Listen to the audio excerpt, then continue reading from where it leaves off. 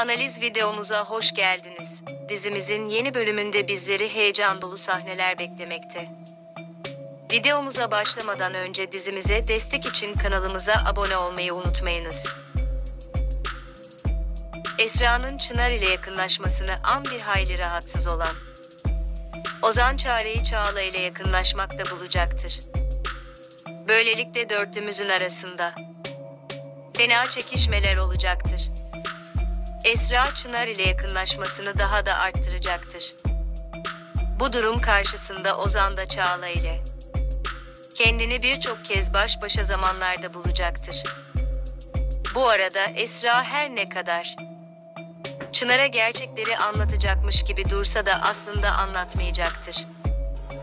Gerçeklerin saklılığını koruyacak ve kendini o duruma koymayacaktır.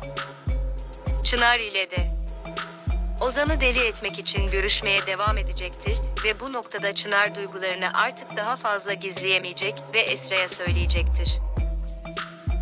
İşte o zaman da Esra'nın duyguları karma karışık olacak ve ne yapacağını bir süre bilemeyecektir.